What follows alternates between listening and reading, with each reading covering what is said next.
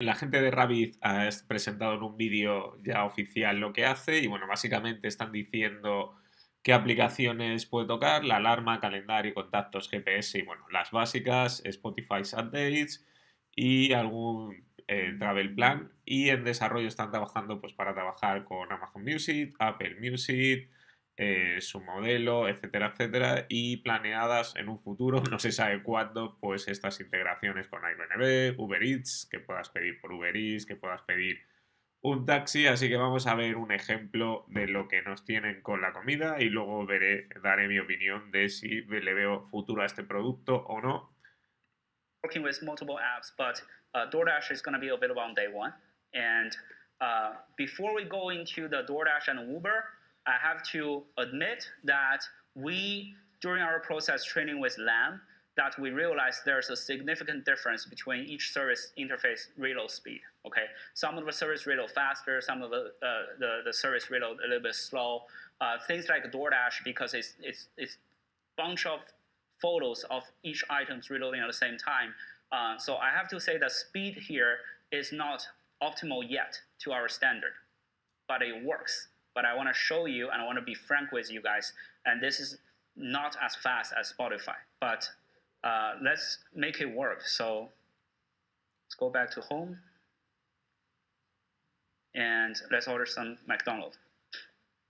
Can you get me McDonald's for food, please? Okay, let's get your order started.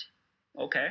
DoorDash may take a while to load on Rabbit OS and may not be available in all regions. Yeah, we tell people it takes time, and we tell people, okay, maybe there are some address that DoorDash won't deliver, or maybe there are some locations globally that wouldn't offer this service as well. Um, but while we're waiting for that to load, and I know 4G is going to be a challenging, uh, but I want to go back in here and show you guys. Uh, I think I have a DoorDash website opened up. Um, this is what I'm talking about. This speed is a bit slow, but we're working on it to get it much faster. And the speed is not because of LAM is slow, it's because of the DoorDash interface just a little bit slower than the other services. Um, and I think I think it just gave me a random restaurant, and uh, um, I want to try that one more time. So sorry for that. I'm hungry. Get me some McDonald's for food hopefully it works. I know, I know the problem is that uh, the the TWA there's a lot of restaurants that wouldn't deliver to here. So let's give it another try. Okay? Yeah, I want to be as generous as possible. Right? Yeah. So let's wait for a little bit and see if it works.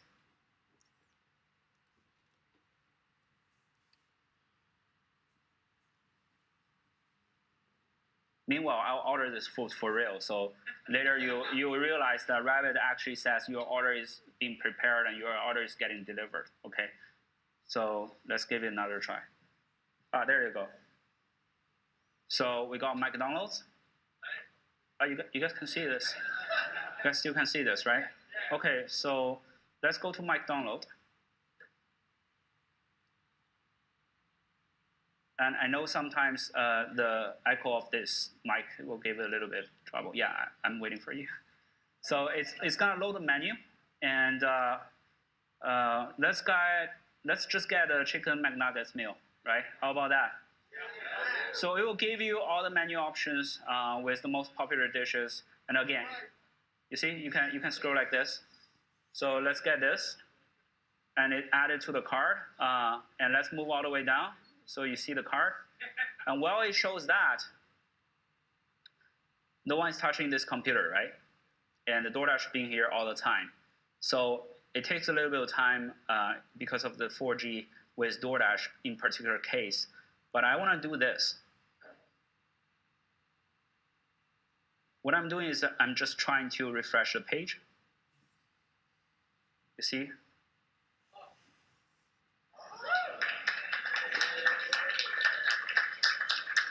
and it shows on my R1 too. So let's go check out. And during the initial set, set, uh, setup process, uh, you'll be asked to set up your own four-digit PIN. And we only need the four-digit PIN when it's money related. Okay, when you are paying something, whether DoorDash or Uber, we ask you for your PIN. We're not gonna set a lock unlock uh, every single time you have to input your PIN. We don't we don't do that. So it calculates all the fees and all that. I just pay because again, it connects to my credit card on the DoorDash as well. So uh, for the demo purposes, I set it to uh, four zeros, and it's a nice little cursor that you can scroll up and down for the PIN.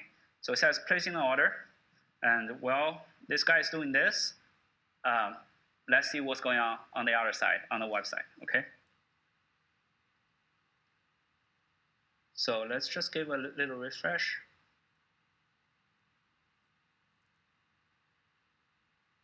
Oh, the shopping cart is gone. All right, so what happens?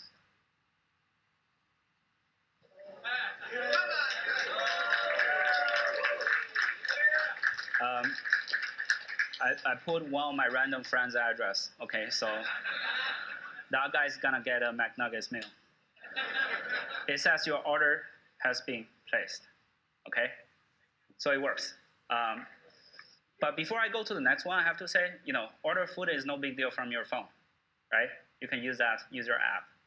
Um, but this structure of large action model, uh, this is its first baby step right? We're gonna go from here and to much more advanced stuff. So there's, there's no shame for us to show simple features like that, because again, no one have done this structure yet, and this is absolutely not through API or SDK. This is large action model directly operating as rabbits, or a lot of people call agents, right? So uh, I'm glad this works. So let's move to the next one, getting Uber.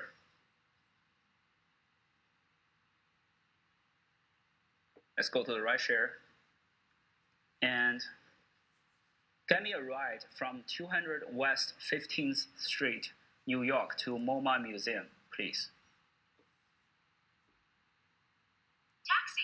Taxi. Just kidding. Oh, what? Uh, Finding a ride now. finding it right now. That's a nice, nice little touch from, yeah. So what happens right now, again, is LAM is going to Uber after user authenticates through Uber and get me the Uber service going. So here it says confirm pickup. You can actually, right here, you can actually press and hold and change address if you want, okay? So you can continue because the address is correct. MoMA, that's correct. And then it will start searching for available drivers. And meanwhile, uh, let's go to the Uber page and let's see what's going on. Uh, each website is different, each services are different.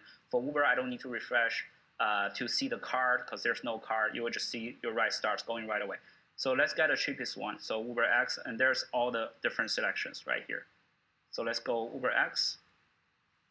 Again, money related, we ask you for the PIN. So there you go. It says processing, and it just start deploying the Rabbit social driver for you. And we'll see from here. Um,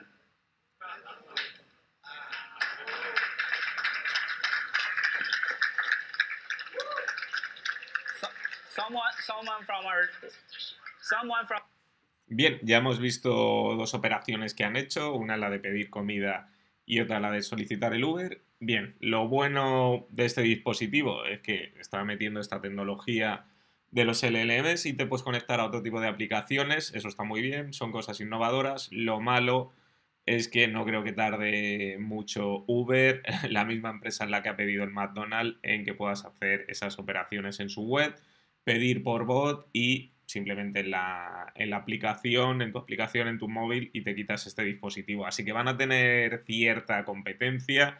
Me parece muy bien que la gente innove, ¿vale? Así que el dispositivo está curioso, por ese lado muy bien pero por otro lado no me parece algo que sea tan innovador para que la gente quiera llevar dos dispositivos en su, en su bolsillo si directamente puedes abrir tu aplicación favorita, en este caso la de Uber, en este caso la de comida o cualquier otra, así que lo va a tener difícil, pero bueno, lo han presentado, la gente ya está recibiendo las primeras eh, versiones, he visto vídeos y bueno, parece que tienen muy pocas aplicaciones en las que se pueda con las que se pueda interactuar, así que bueno, ya veremos el, futuro. que tiene. Yo no le veo mucho futuro, pero bueno, dejadme en vuestros comentarios si pensáis que este dispositivo va a triunfar, si os lo vais a comprar y como siempre darle a like y os veo mañana.